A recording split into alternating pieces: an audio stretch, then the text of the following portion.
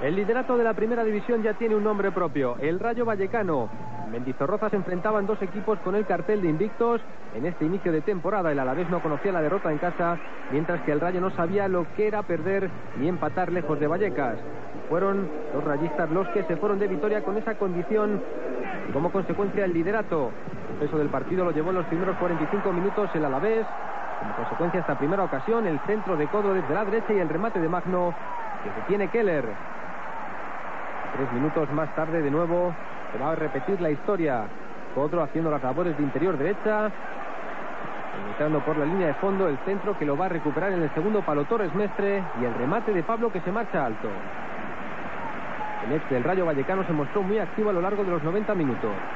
Llegamos al primer cuarto de hora, la mejor ocasión del primer periodo para la vez. El centro de Codo una vez más y el remate de contra al que responde espléndidamente Keller. Guardameta americano de nuevo protagonista, salvando a su equipo en estos primeros compases. Observen el escorzo del guardameta para detener el remate de contra. Minuto 16, primera intervención del Rayo Vallecano frente a la meta defendida por Herrera. Es buena la triangulación entre Llorens, Posner y Sembranos. Este último dispara. La respuesta es de Herrera.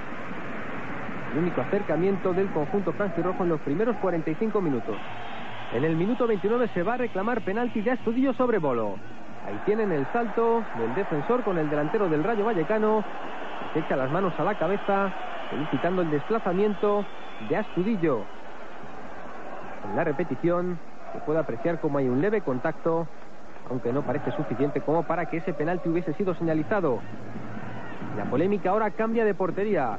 Se va al área del Rayo Vallecano. El remate es de Javi Moreno, responde espléndidamente Keller y en esta acción Estibar y Ciclotet derriban a Magno en su intento por alejar el peligro de la meta defendida por Keller.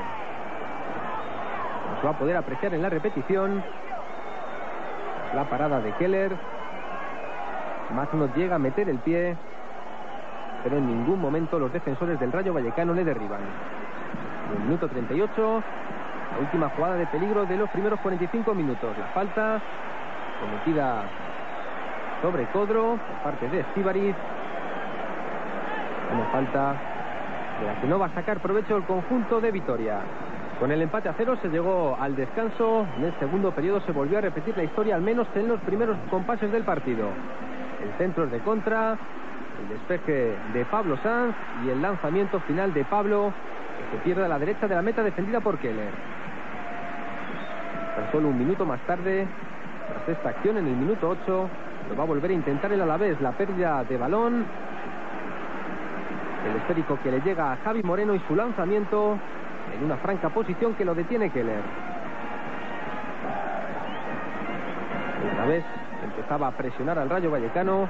Como consecuencia, el lanzamiento de falta de Codro, al que responde de nuevo francamente bien Keller, siendo David Clotete el que envía fuera introdujo a Julio Salinas por Desio, la auténtica bestia negra del Rayo Vallecano. Ocho tantos había conseguido Salinas en seis partidos ante el conjunto franjirrojo. También movía ficha Juan de Ramos, retirando a Ferrón y haciendo debutar en la máxima categoría Iván Amaya, que sería posteriormente crucial en el desarrollo del partido. Minuto 25. Codro se va a lesionar solo en este choque con Julio Salinas.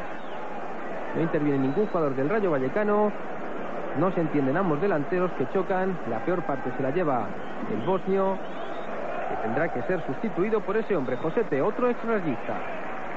Llegamos al minuto 32. Cuando empieza a despertar el Rayo Vallecano, el córner que lo bota Luis Sembranos, el remate de Hernández la respuesta de Herrera. Hernández de nuevo en las jugadas a balón parado siendo providencial. Seguía estirándose el conjunto de Juan de Ramos. Ahora el que lo intenta es Luis Tembranos con ese lanzamiento que se pierde a la izquierda de la meta defendida por Herrera. Llegamos hasta el minuto 37 del segundo periodo. Iván Amaya levanta la cabeza, pone un centro poco menos que medido. Luis Tembrano se interna, levanta la cabeza y en el centro con la caña preparada Bolo dando el liderato al Rayo Vallecano. Se volvía a repetir la historia de Vigo conjunto Roja aguantó su momento y cuando este se presentó no lo desaprovechó. Observen el centro de Luis Tembranos, que se ayuda en Josete. prácticamente en la línea de gol se juega el todo por el todo. No era para menos John Pérez Bolo. Siendo el 0 a 1, tres minutos para el final que fueron de constante agobio, en los que el Alavés lo intentó absolutamente todo, como en esta ocasión Pablo, aunque la recompensa ya estaba en el bolsillo del conjunto franjirrojo. El final del partido que concede y otorga con toda justicia y merecimiento el liderato al Rayo Vallecano, por encima en esta ocasión incluso del Fútbol Club Barcelona.